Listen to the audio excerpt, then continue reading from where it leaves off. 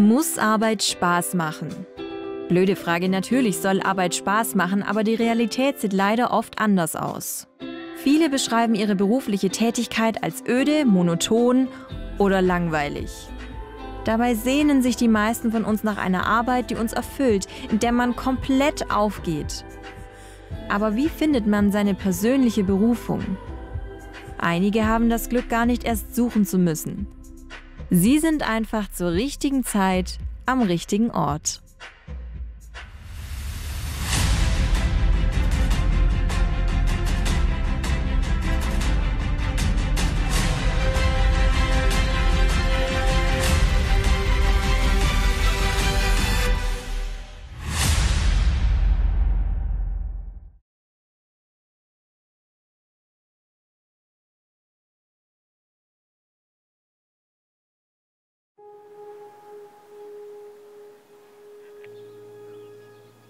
Mein Name ist Markus Netzer. Ich leite die Küche von einer Drogentherapieeinrichtung hier in der Nähe von Salem.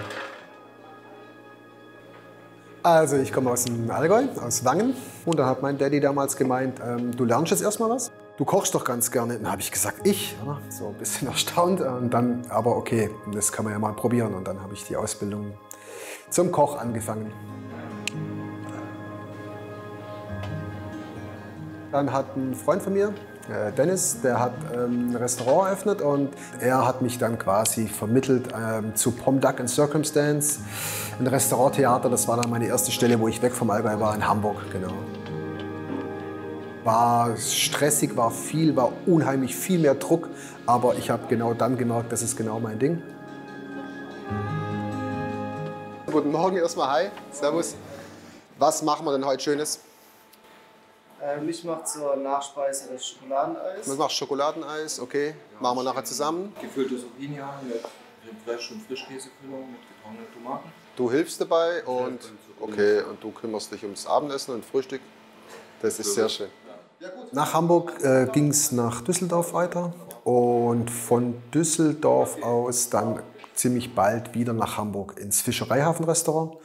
Und von da aus hat mich dann der Küchenchef, mit dem ich bei Pom Duck in Hamburg angefangen habe, der hat mich angerufen, ob ich Lust hätte auf Andalusien. Und dann haben wir uns in Spanien dann zusammen gesehen und haben da in einem, in einem Hotel ein kleines Restaurant zusammengeführt.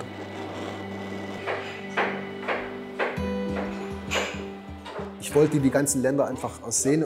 Aber dann habe ich irgendwann gesagt, ich will auch gar nicht mehr aus dem Kulturbeutel leben müssen, sondern ich will einfach wissen, wo morgens die Zahnbürste steht. Und habe das Ganze dann in London, ähm, wo ich im Hilton gearbeitet habe, dann abgebrochen und bin dann nach Hause geflogen. Ein Freund von mir hat zu der Zeit äh, einen Kuhstall umgebaut zu einem Restaurant. Und da habe ich dann angefangen ähm, in der Küche.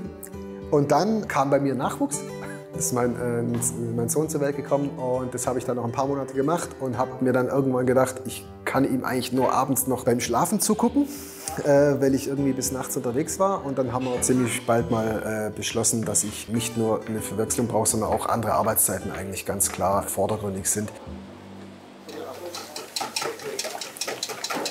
Okay, und nicht so verkrampft, da machst du nicht lang, machst ganz locker und schlagst es immer hier rein.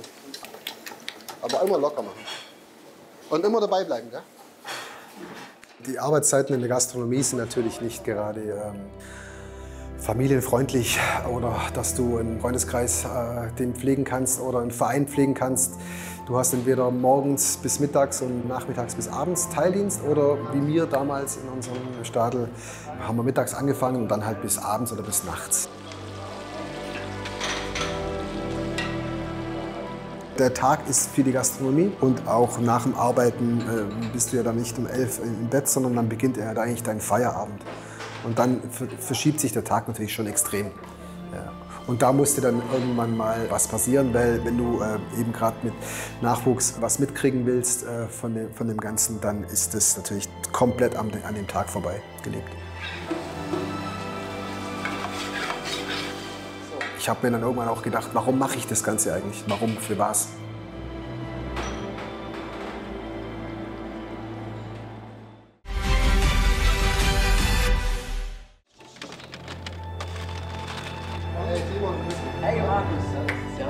Ich habe mir dann irgendwann auch gedacht, warum mache ich das Ganze eigentlich? Warum? Für was?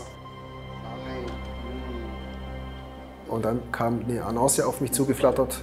Da stand, dass eine Fachklinik Sieben Zwerge einen Koch sucht, der sich auch vorstellen könnte, kleine Kochkurse zu geben.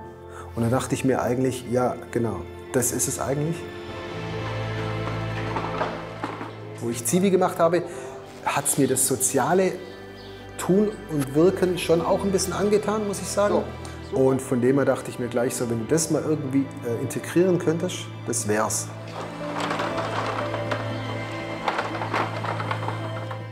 Dann habe ich hier eine Probewoche gemacht, gekocht mit den Jungs, die hier Therapie machen.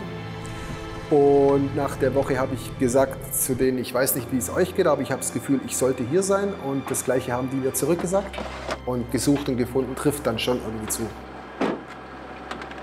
Es sind Leute zwischen 18 und 40 hier, die hier eine Drogentherapie machen.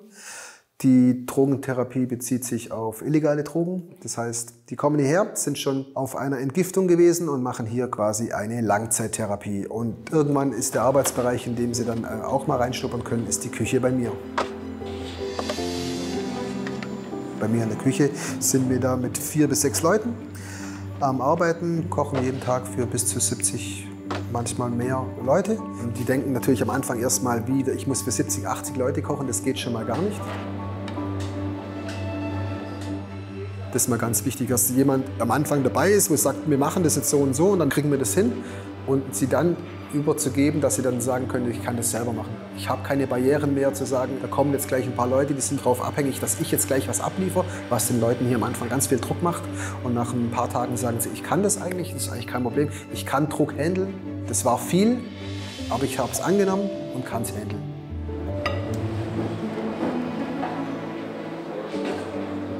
Ja, also grundsätzlich ist es so, wenn die natürlich in die Küche kommen, sage ich erstmal, ähm, alles Private bleibt privat und außerhalb von der Küche.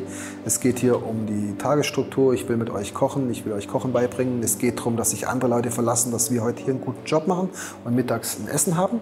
Aber klar bleibt es nicht aus über die Wochen und Monate, dass nicht der ein oder andere mal neben einem steht beim Schneiden oder so und einem ein bisschen was äh, Privates erzählt. Und das ist natürlich auch ein, ein, ein Riesenfaktor. Ich bin nicht hier, natürlich äh, geht es gar nicht, dass ich äh, nach dem Thema Koch abbreche hier. Das ist der Ort, an dem wir sind. Das ist die Sozialtherapie, das ist die Drogensucht, das ist, sind teilweise Einzelschicksale, wenn ich sie so nennen darf, sollte. Und die kriegst du natürlich mit und musst versuchen, mit denen umzugehen.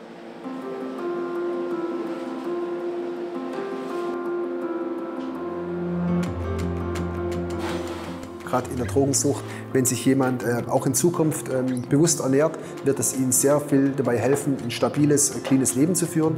Weil das, was Leute anfangen, wieder ähm, äh, an sich selber nicht wert zu sein, sich selber zuzuführen, eventuell mit Fastfood etc., das werden sie dann eventuell auch in anderen Lebenssituationen eventuell nachlassen. Das heißt, eine gute Ernährung, das selber kochen zu können, kann ihnen helfen. Von dem her ist die Küche als Medium einfach äh, schön wenn ich jetzt Leute, wo jetzt gerade erst fertig sind mit der Therapie, die zu mir sagen, hey, wenn ich meinen Kühlschrank aufmache, muss ich immer an dich denken. Das finde ich natürlich auch schon witzig. Ja. Und wenn sie beim Einkaufen stehen und sind dabei, irgendwie ein Fertiggericht zu kaufen, dann haben sie immer einen Markus auf den Schultern sitzen und sagt, nein, tu es nicht.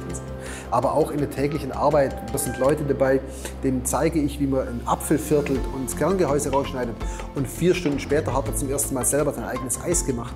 Und ähm, das Grinsen bei denen, das ist schon, schon cool.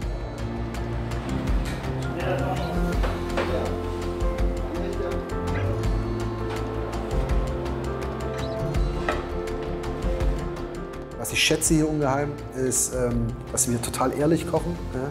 Es ist, ähm, ich will es mal bodenständig nennen, aber es ist unglaublich ehrlich, was die Gastronomie nicht immer ist. Es ist unheimlich bunt hier. Die Leute sind unheimlich fordernd natürlich, klar. Aber das schätze ich auch, weil das auch total im Tag hält einfach. Bei uns gibt es kein, ähm, äh, ich gucke mittags auf die Uhr und denke, wie lange bist du denn jetzt noch hier? Sondern irgendwann äh, ist dann 16 irgendwas Uhr und die Leute sind dann langsam am Gehen. Ich denke mir schon, boah, wie schnell ist das wieder vergangen? Weil immer viel passiert und das schätze ich an dem Ort schon. Es spricht der knorrige Eichbaum, der Diener des eisernen Maß. O Mensch, Wurzel in Tiefen und rage in Höhen. Sei kraftvoll und stark. Sei Kämpfer, Ritter und Schützer. Gesegnete Mahlzeit. wenn ich darüber geredet habe, wo arbeitest du jetzt oder mit meiner Familie, dann habe ich immer wieder den Spruch gesagt, so viel anders ist das gar nicht. Ihr denkt immer, Drogensucht und Therapie und es muss ja irgendwie alles voll extrem sein und so. Aber ich habe einfach Leute vorgefunden, die an dem Punkt waren, wo sie äh, die Sache mal umdenken wollten und wir helfen ihnen dabei hier. Und von dem her war das von Anfang an irgendwie nicht so abgehackt. Ich bin jetzt in einer ganz anderen Welt, sondern ähm, wir hatten nur einen anderen Kontext. In the nighttime, when the world is at its rest. Will find me. Cause I'll be come back soon.